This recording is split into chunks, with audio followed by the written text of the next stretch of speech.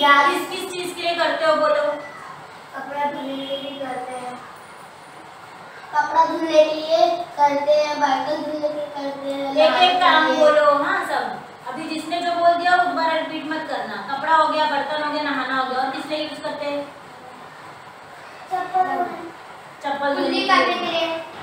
कुल्ली करने के लिए और खाना बनाने के लिए हमें वेरी गुड खाना बनाने के लिए खेती के लिए भी है ना बहुत सारे काम हम करते हैं तो आप भी जो जो काम करते हो अपनी रोज़मर्रा की ज़िंदगी रोज़मर्रा मतलब जो रोज रोज आप करते हो अपनी ज़िंदगी में।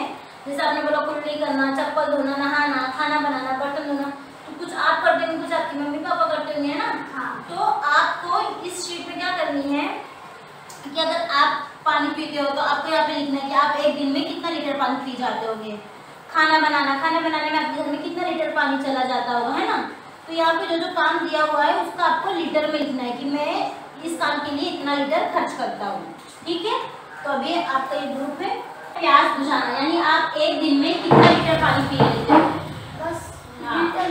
हाँ गिनती में लिख सकते हो आप। पाँच लीटर दो लीटर तीन लीटर। आप सुबह पीते होगे एक दो गिलास है ना? एक गिलास पाँच लीटर का रहता है। फिर दोपहर में पीते होगे कितना पीते हो आप?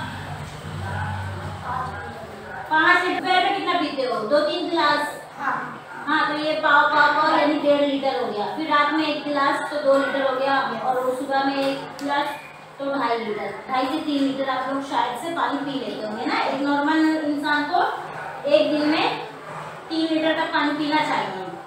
ही। है। हाँ आप ऊपर से देखिए तीन भी कर लीटर भी लिख सकते हो लेकिन ऊपर लीटर लिखा तो आप सही नंबर डाल सकते हो। सिर्फ़ एक बनाओ गिनती का एक। रबड़ लो। अभी खाना बनाने में खाना आप हो खाना नहीं बनाते हो।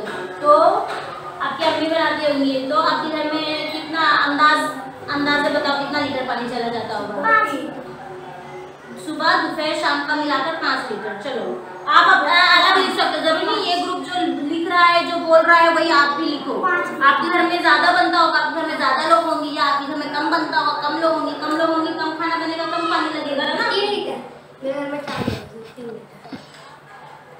ठीक है पाँच लीटर इन्होंने बोले तुमने चार चार अभी तीसरा क्या है नहाना अभी सिर्फ़ आप कितने लीटर में नहा लेते हो पाँच लीटर में वो बाल्टा में नहाते हो ना बाल्टा है ना हाँ। बाल्टा सभी हमें बाल्टा है बड़ा सा वो एक बाल्टा बीस लीटर का है मतलब आप नहाने के लिए सिर्फ़ बीस लीटर पानी खर्च करते हो सिर्फ़ नहाने में